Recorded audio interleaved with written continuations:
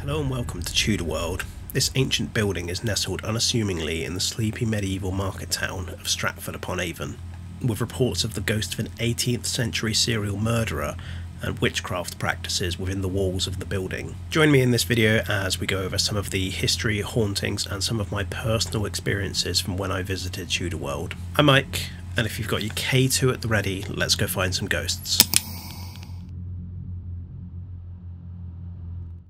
Chapter 1 The History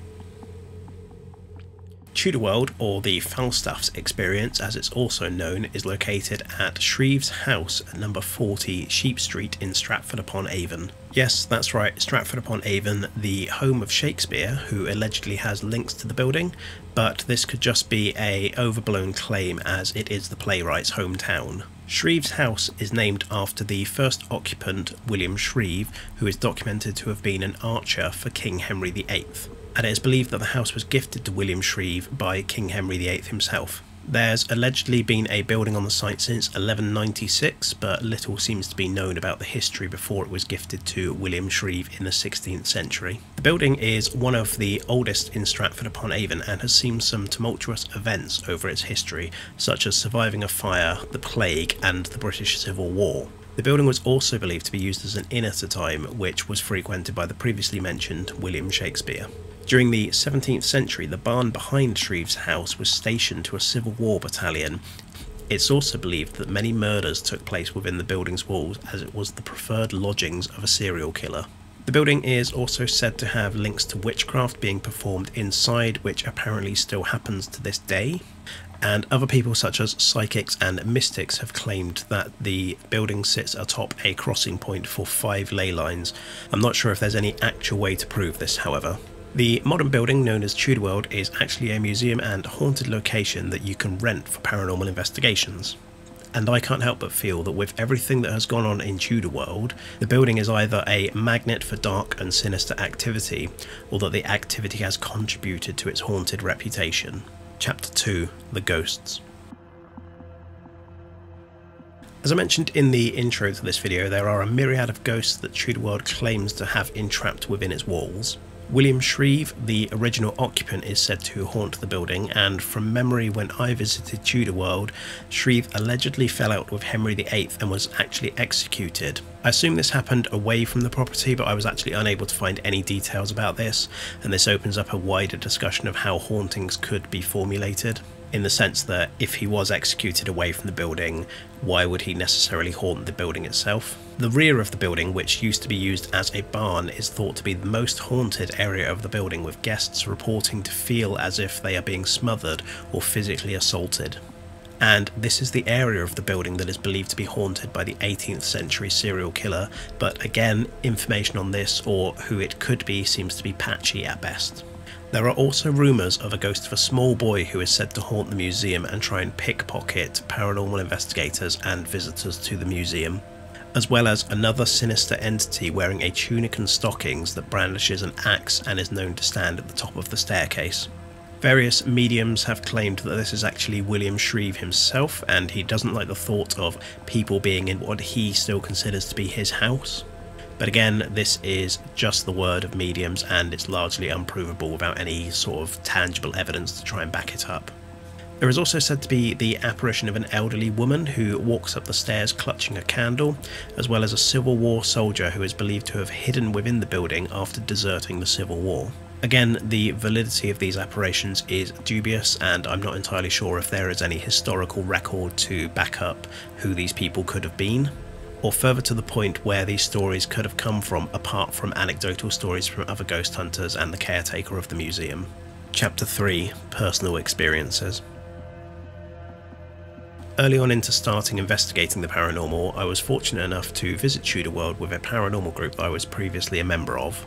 This was actually done before I even started this channel or even started filming our investigations, so unfortunately I don't have any video of this investigation on YouTube. The investigation started off quite slowly with us beginning in the gift shop, and for some reason there seems to me that there is some sort of weird correlation between gift shops and hauntings, as I believe the Jamaica Inn also claims that it has a haunted gift shop, as well as a few other locations.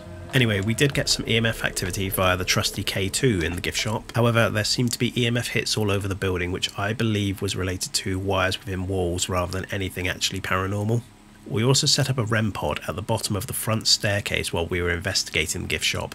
The front staircase is at the end of a short hall adjacent to the gift shop, and this REM pod seemed to trigger of its own accord a couple of times which we actually witnessed when we looked out into the hall and could confirm that the entire team of seven to eight people was in the gift shop at the time, and also no walkie talkies were being used to my knowledge because we didn't have any other teams to walkie talkie to.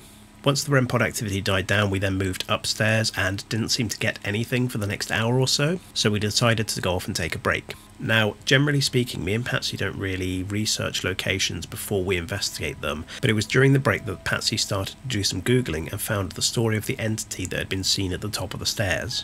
Excited because this kind of correlated to the REM pod activity we were having, we decided to go back into the building to investigate more, and as we approached the REM pod at the bottom of the front stairs, it started to trigger again while we were about six feet away from it.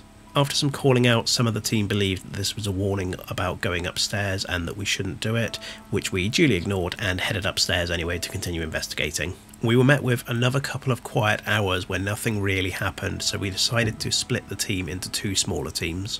After doing this, the majority of the team decided to go up into the attic area, which includes a seance table, while the other three of us, being myself, Patsy, and a third person that I'll refer to as T, decided to stay on the second floor. We were directly below the seance room in the area of the building that I believe used to be the barn, and from researching this video, the area where some of the more sinister hauntings are said to have occurred. For some more context, directly below us on the ground floor between two rooms was some form of wooden panel or walking board, which had a slight slope to it as one of the rooms was slightly higher than the other downstairs. And when someone stepped on the board, it would make a clunk sound which was very loud and quite obvious as to what it was, and this will come up later. While myself, Patsy, and T were at the top of the back staircase, the building seemed to fall silent as if some form of tension was building and we were about to experience a wave of activity and a wave of activity is exactly what happened.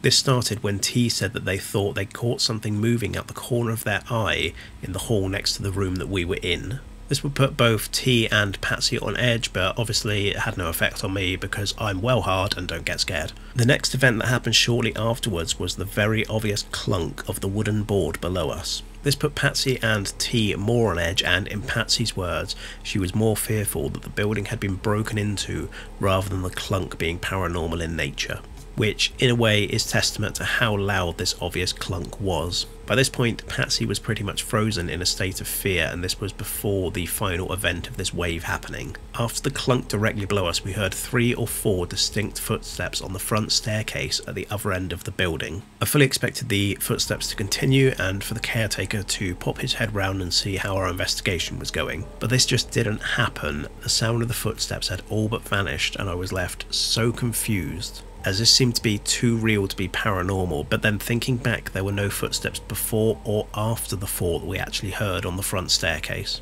I asked Patsy and T if they would like me to go and investigate, but they didn't want me to leave them alone, which caused a minor joke where I said, well, we're paranormal investigators, that's what we should be doing. But anyway, Patsy and T didn't want to be alone, so I had to respect their wishes and not just run off down a hall chasing phantom footsteps. We finally managed to muster up the courage to leave the building via the back staircase, with me going first because Patsy and T were too scared to go first, and them following very, very closely behind. And from that moment on, we didn't actually go back into Tudor World to investigate anymore, not only because of the traumatic episode that Patsy and T had experienced, but also because this was about 3 in the morning by this point, and we actually had quite a long drive home, so we decided to call the investigation and head home. And that was our experiences at Tudor World. Although the ghost story seemed dubious, myself and Patsy had some experiences there that we can hand on heart say we believe were paranormal. But I can fully respect that there could be a rational explanation for this, especially as I didn't actually get to go and investigate the footsteps after they happened. As you can imagine, we are very, very keen to go back to Tudor World and investigate it privately to see if we can have any form of similar experiences. We haven't got anything set in stone for our return at this point though. Anyway, that's this video done. Let me know your experiences at Tudor World in the comments below. Watch this video next for our recent investigation of a haunted theatre. Bye.